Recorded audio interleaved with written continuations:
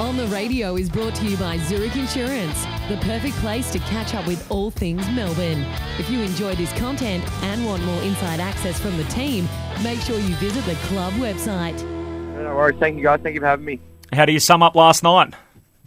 Uh, it was a good win. Yeah, it was gritty. Um, it was a very defensive game for us. Offensively, uh, from a viewer's standpoint, it probably wasn't a great spectacle, but uh, we knew that it was going to be a sort of hard-fought game. They're um, coming in as a second best uh, offensive team in the in the AFL, and for us to sort of stamp, um, you know, a win like that in terms of defensively was uh, was a great win for us. You guys were coming off a really a shock loss on the Queen's birthday holiday to Collingwood. Uh, what was the fallout from all of that? Was it sort of a major thing that you got out of um, that kind of defeat that you took over the bye?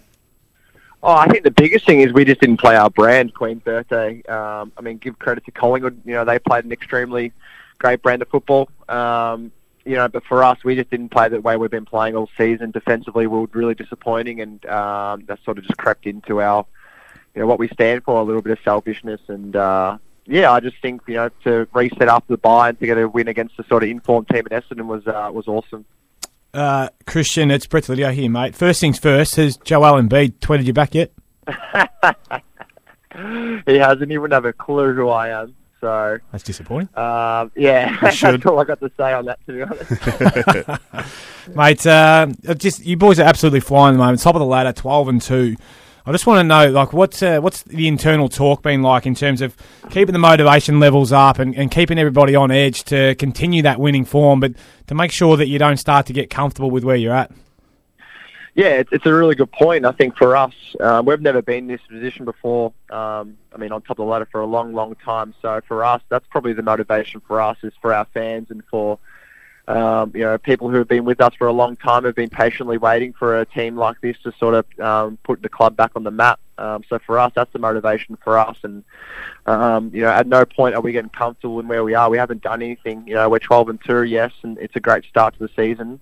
Um, but for us, we need to be playing our best footy in finals, and hopefully that comes at the end of the year. And we're playing in big games at the end of the year. So uh, for us, that's that's you know the really critical thing. And, and I think as well is you know we're sort of playing. I, I feel like well, personally, I love playing with a chip on my shoulder, and I like the team that we're playing with a chip on our shoulder. I feel like every game we've got a point to prove, whether we're versing um, a team that's not going great or a team that's going really well. And um, yeah, I think you've sort of seen from our season this year, we play unbelievable against really good teams. Because I feel like you know we want to sort of have an attitude that we are the best team, but then also you know, I wouldn't say it's comfortability, but I think, you know, against the teams that um, aren't going as well, we really need to, you know, put our foot on the throat and, and, and stamp our authority.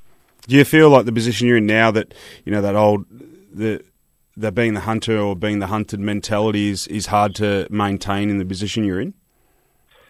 Um, well, it's a good question. Um, I think every game for us, we want to be. Obviously, we know we're probably coming in as the hunted.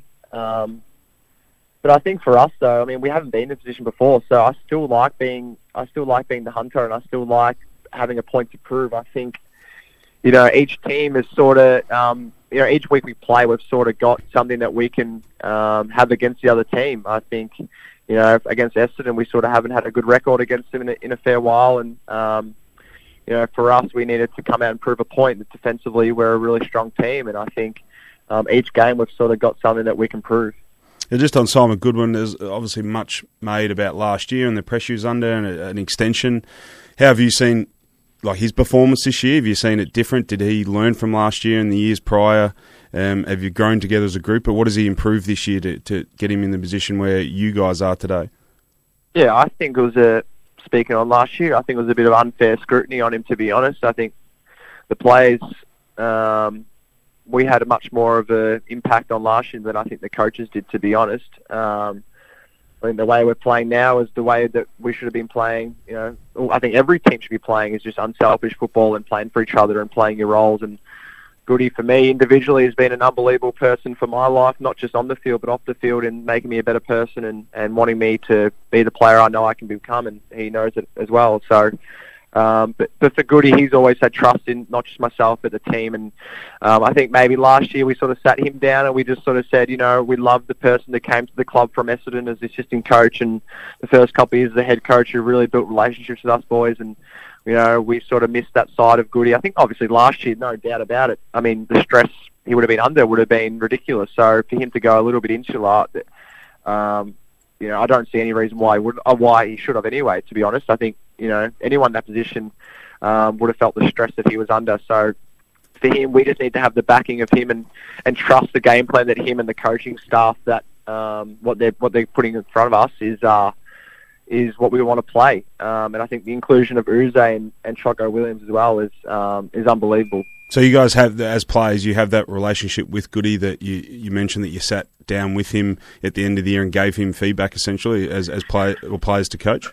Yeah, definitely. I think that's what's improved as you know at this footy club, not just from coach to player, but also player to player. I think you know we're a young team, and sometimes, uh, I mean, you guys can probably understand this when you you're when you're a young team and you want to give feedback, you sometimes think that oh it might hurt the other player or it might affect you know our relationship, but I think we've gotten to a point now over the last year or so that when we give feedback, it doesn't, it's not personal and it's not about making you, you know, rip you to shreds. It's about making you a better person and making you a better player for this football club. And I felt like the way we're sort of accepting feedback um, in a way and giving it is so much more constructive. And um, I think as well, like, you know, I'm maturing, Jake Lever's maturing, um, you know, Clayton Oliver, Christian Salem, Angus Brayshaw. We've got a really good core group of guys who are sort of at that age now where uh, we want to take this footy club to where we know we can get to, and I think those conversations we're having um, in the middle of the game um, and you know before the game and um, during the week is uh, is really good.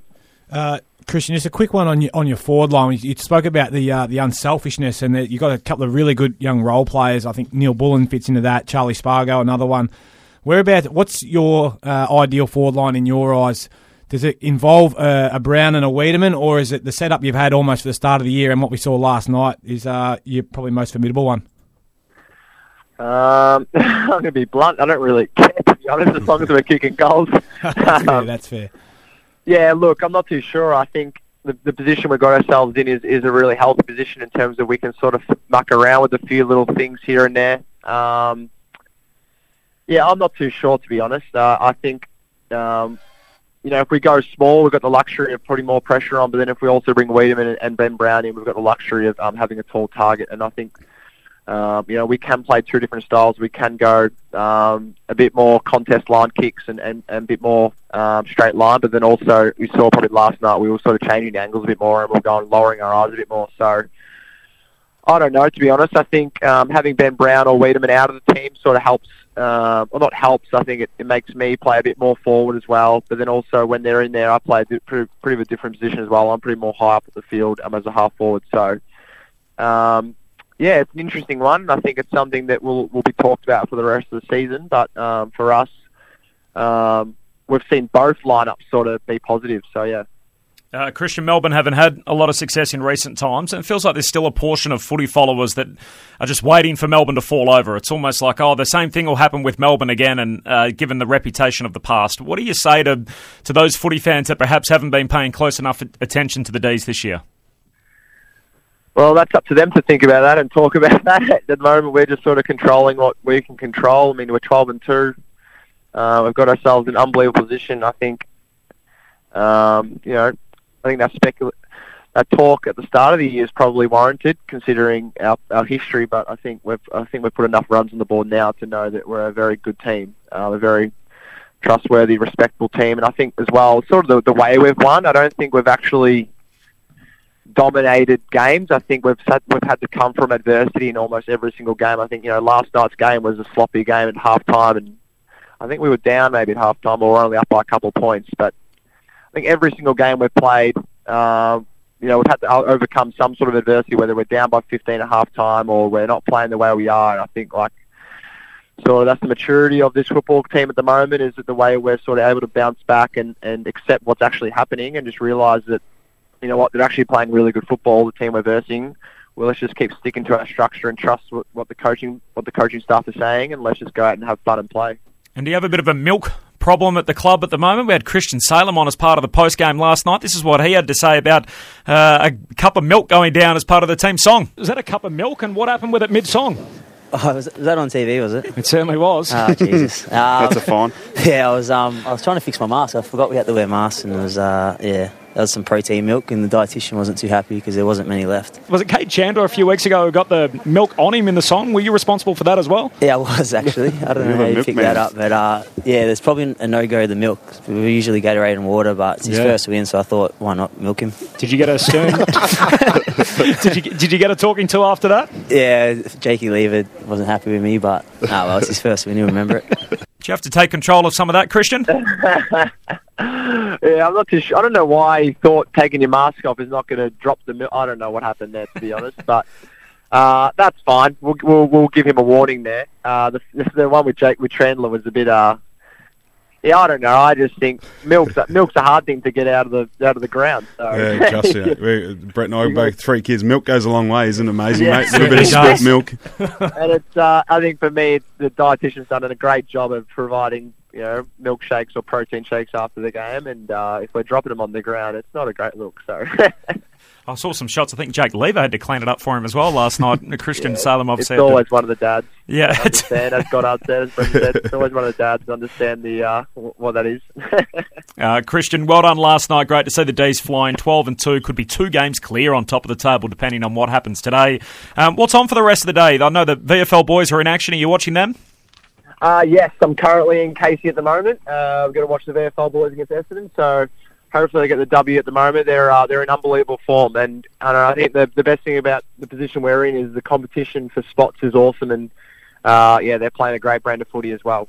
Enjoy the day. Appreciate your time. Thanks, guys. Thank you for having me.